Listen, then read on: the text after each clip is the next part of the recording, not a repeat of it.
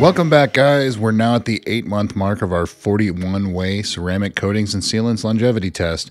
You've heard me say in the past, I regret using a light colored hood, but at the time, it's all I could get my hands on. So, as a result, I've tweaked the color a little bit in post so it'll show up better on your screen. So, when I do that, things look a little weird, so bear with me. If you haven't already subscribed, please consider doing so. Hit the bell icon so you get the latest updates. If you're just joining us, please be sure to check out the entire series of these videos as there is a ton of work that goes into the research, prep, install, and continued testing of these. As usual, we'll foam it down using Chemical Guys Honeydew Snow Foam, rinse it, wash it with an Australian sheep's wool, wash mitt, and then of course rinse it to inspect the hydrophobic properties. If you have any of these installed on your vehicle, let me know in the comments how they're holding up for you or if you're rooting for any of them. So without further ado, let's do further and see how things are holding up. NGNT DS gel was weak at the 120 day mark. We are now going to call that failed. Seafoam Fast Finish lasted seven days, and then CQuartz Finest Reserve and Professional. In my experience, CQuartz Professional has been more hydrophobic than Reserve, and that is definitely the case here, here at the eight month mark. CQuartz Finest Reserve, not to the point where we would call it weak. I know it's kind of tough to see it on camera there, you can see right next to CQuartz Professional, which is much more hydrophobic. Both of those are 2021 batches. I know they've had some production issues.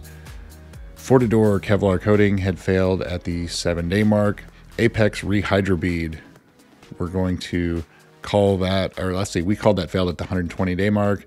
DPC T3 and T9 both look like those are hanging in there. Looks like both of them are very hydrophobic. Apex Metal Oxide Coating by Art to Shine. Looks like it's doing all right as well.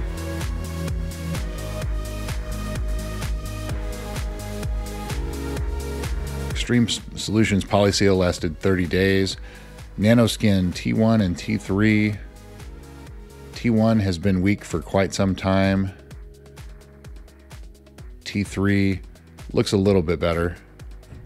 Not to the point where we'd call that one weak, but it's getting pretty close.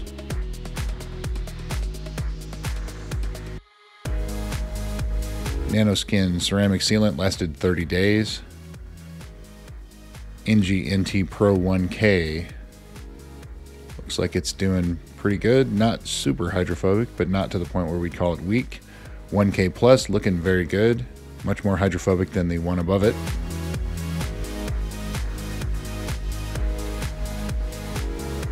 Meguiar's 3 in 1 wax. We got 30 days out of that one.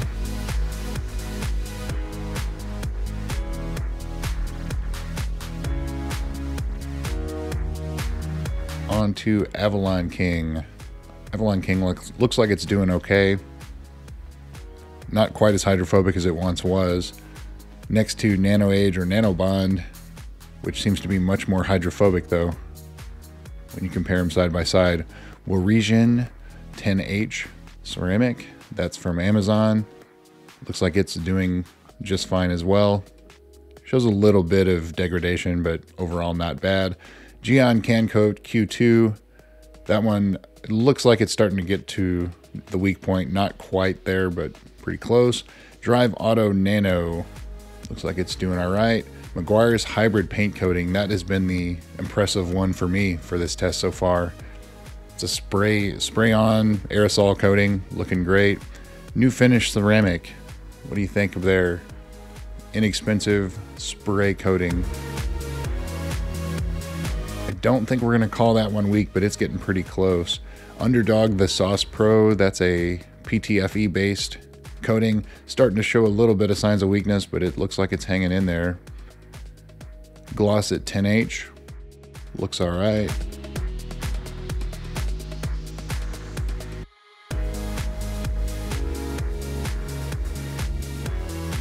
Glossit 5H also looks like it's doing well.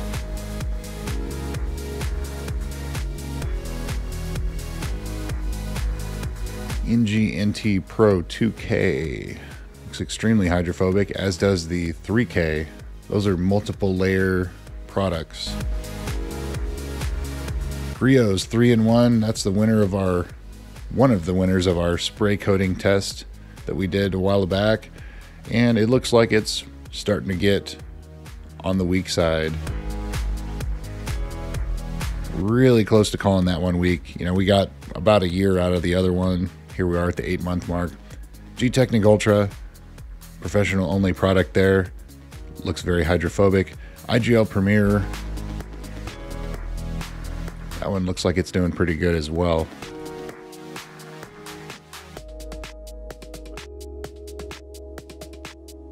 On to Owner's Pride. Somebody, one of the updates had said that they've updated this product. So if that is true, then we'll have to get our hands on the new one as well. Owner's Pride, TEC 580, and Speed Wipe Speed Coat. All three of those manufactured by the same company, but maybe a different blend or something like that. They're all performing similarly. Speed Wipe, maybe a little less so. Lone Star Ceramic pre production coating.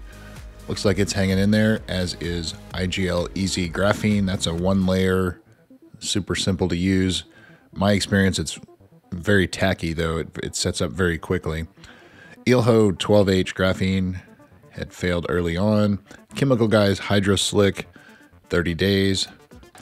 Chemical Guys Hydro Charge lasted about 60 days. And Chemical Guys Carbon Force Ceramic Coating it's been weak since about the 120 day mark, and it's pretty much still right there. It's just kind of borderline weak. And then ammo has been this way since the 30 day mark, where it's lost its hyd- its hydrophobics pretty quickly, and it's starting to sheet, but it still does get the water off of the panel. So there's your update, guys. Eight months. What do you think? Anything you're rooting for? Let me know in the comments. Again, check the video description for spreadsheets, things like that, more info about the all of the products. Thanks for watching, guys, and we'll see you soon.